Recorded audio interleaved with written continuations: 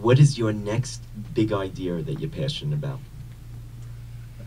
Um, you know, I, I, I told Sarah that I wasn't going to start any more companies because we're like kids will be graduating and we're supposed to move on to the next phase. Um, but uh, and I don't I don't know if I have the fire to start new things, but I do look at new things and know lots of people at this point. The irony is the at a time in my life when I'm least interested in starting companies, I have the most opportunity because that's just what happens in this business. And I've, I'm I've become involved with something in New York City that I like quite a bit, that I'm looking at much more closely, called Artsy.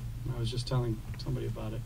Um, it is the, the ambition of this young, super mathy smart MIT kid uh, who's very arty too. So he's like, I think he might be, I think Carter might be on the genius scale somewhere from a math perspective, but he's also quite artistic and creative. And he started this company to create the new marketplace for art.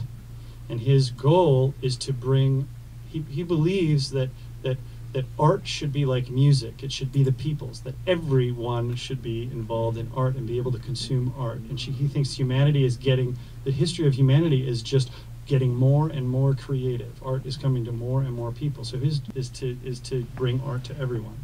And I'm a, my, my wife Sarah is really into art, and I'm a great supporter of the arts. Uh, and so I found this intersects with my with my interests. It's building a marketplace, and it's around a topic that I think is important and interesting. So I'm, I'm, I'm taking a look at that.